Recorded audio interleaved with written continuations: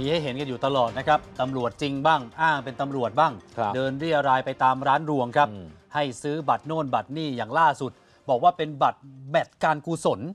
เตะกันที่สนามธูปะเตมีย์อ่าที่อยู่ใกล้ๆ แถวแถวๆคูคตครับ ปรากฏว่าขายใบหนึ่งสองพันฮะโอ้โห แมตช์ใหญ่แน่นอนโอ้โหแมตช์ใบละอืม2,000นี่มันต้องระดับแบบเออสโมสรแมนยูลิเวอร์พูลอาร์เซนอลอะไรมาเตะนะ ต้องมีดารานี่ มาทั้งนั้น นี่เขาเขาก็ไม่อันนี้รู้แมตช์ด้วยอะไรซ้ำไม่ได้บอกด้วยอ๋บออกว่าเหรอเป็นบัตรบัตรบอลการกุศลโอ้เขาก็มาร้องเรียนแล้วก็มีภาพกล้องวงจรปิดของร้านเขาเนี่ยบันทึกภาพเอาไว้ได้นะครับ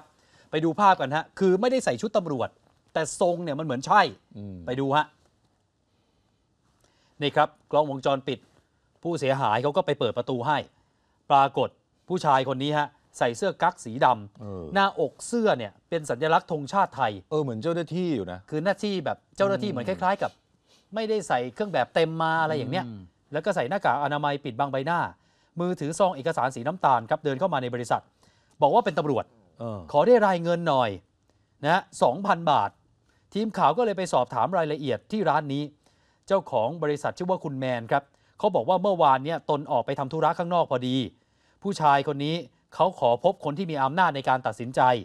พนักงานเขาก็เลยโทรศัพท์ ไปให้ตนคุยด้วย ซึ่งตนไม่ได้อยู่ที่ร้าน เขาอ้างว่าเขาเป็นตำรวจมาจากดินแดง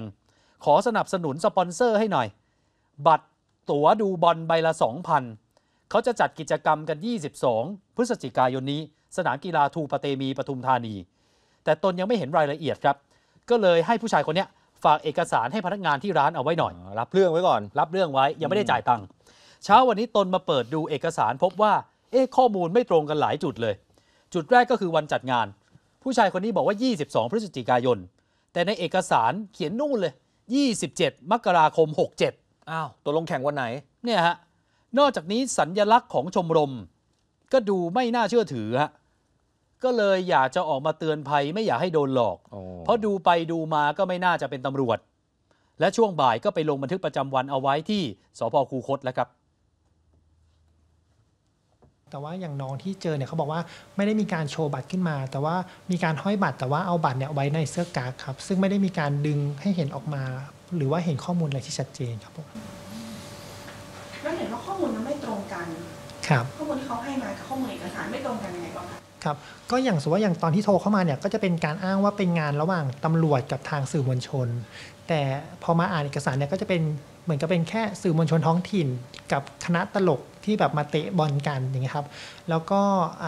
พวก ข้อมูลต่างๆ เช่น วันจัดงานตอนที่โทรหาผมเนี่ยก็คือแจ้งว่าวันที่ 22 โนเวม ber เนี่ยจะจัดงานและที่สนามทูปะเตมี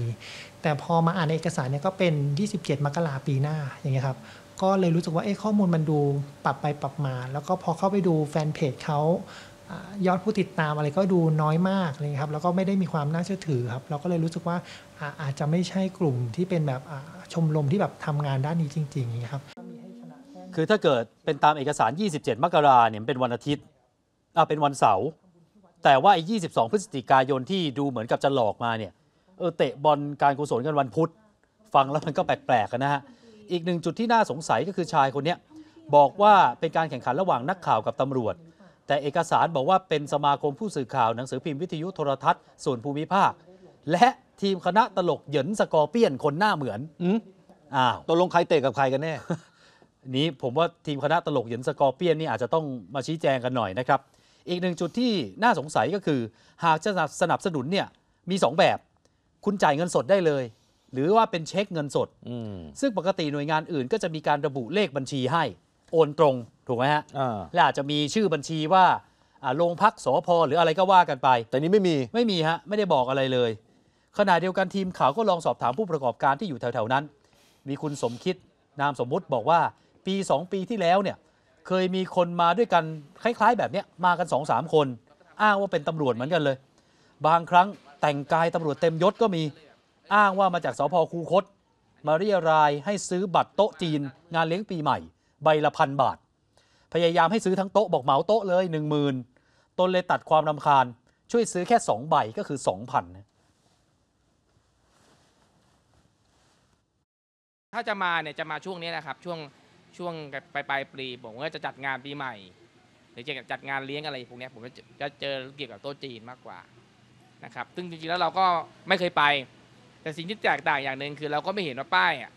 ป้ายฉลองงานเลี้ยงเขาหรือสถานที่จัดงานเลี้ยงเนี่ยธรรมดาถ้ามีงานเลี้ยงใหญ่เนี่ยคุณจะมีป้ายชี้นำทางว่าอยู่ในที่ไหนฮะอันนี้อันนี้ไม่มี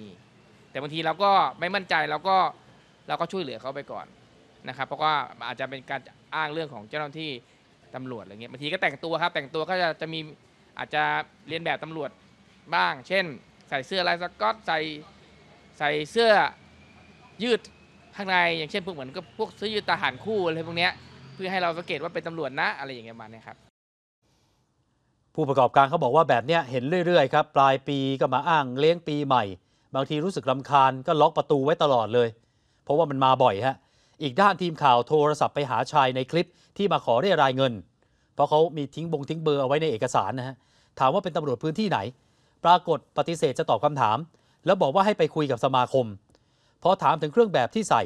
ผู้ชายคนนี้บอกเป็นเครื่องแบบที่ใครก็ใส่ได้ เสื้อกั๊กไงอืมก็ไม่ใช่เครื่องแบบตำรวจตนก็เอามาใส่อ้าวไม่เห็นจะเป็นไรเลย จากนั้นวางสายเลยฮะอ้าวตัดสาย นักข่าวเราเลย คุณไม่แต่ฝ้ายแต่อ้างว่าเป็นตำรวจไม่ใช่เหรอ เออก็ตอนมาอ้างตำรวจ เออ แต่พอโทรไปก็เหมือนกับจะบอกว่าไม่ใช่ ครับ ทีมข่าวจึงโทรไปหาคนประสานงานของสมาคม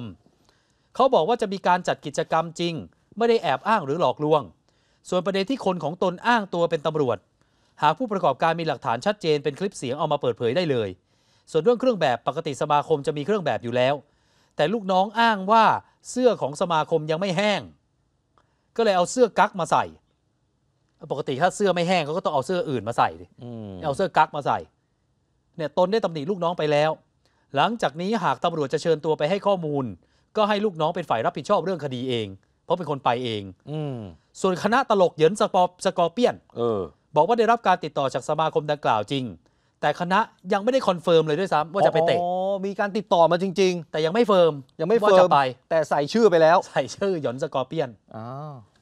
เอออะก็ต้องดูดีๆนะครับอืมติดตาม PPTV HD 36 ได้ทุกช่องทาง และอย่าลืมกด Subscribe พร้อมกดกระดิ่งแจ้งเตือนด้วยนะครับ จะได้ไม่พลาดข่าวสารและคอนเทนต์ดีๆ อีกมากมาย